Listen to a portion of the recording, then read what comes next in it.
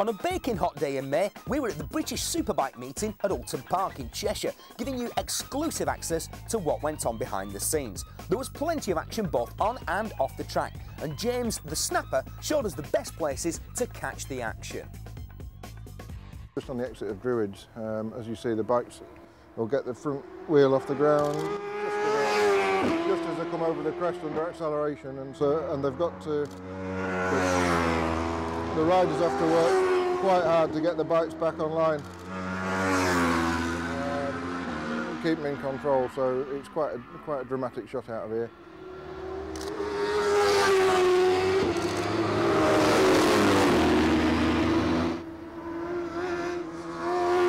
number of times that people say, oh, you've got the best job in the world. Well, on a day like today, we probably have, but when it's siling down with rain and you've got to stand there and it's cold, miserable and horrible and you've still got to be out there, then obviously it's not quite so much fun.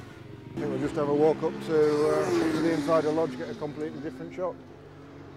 Lodge Corner on race day is, is, sort of traditionally one of the last ditch attempt passing places. It's uh, sort of the last passing place before they go on, onto the start finish straight. At that point there's a potential for for crashes and uh, so the crashes are often the shots that get used. I guess you could say it started off as a hobby that got too expensive. Very, very few circuits that are as picturesque as this.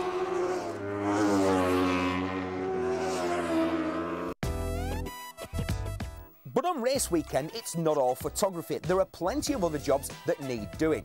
And ladies out there, there's something for you too.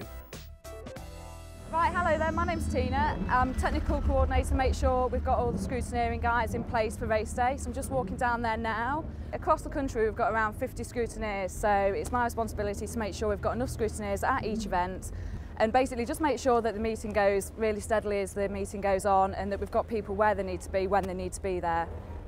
Everything's set up for the day now.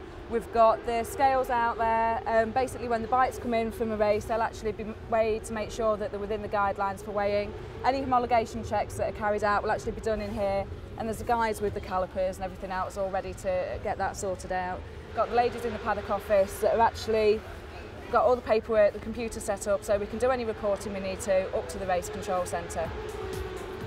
And who better to explain it than the woman in charge of the paperwork for every bike in every race? Each rider has his own record card which follows him right through the series. And on the record card, all the details, such as when the bike has been scrutineered by one of the technical officials. Clothing and helmet of the rider are also checked and recorded. Now we check the helmet to see that it's securely fastened and there's no damages on. And then he also has an ACU sticker on, which he must have on for racing. So there you go. Anybody not quite up to the standard of John Reynolds et al. can at least take part on a race weekend.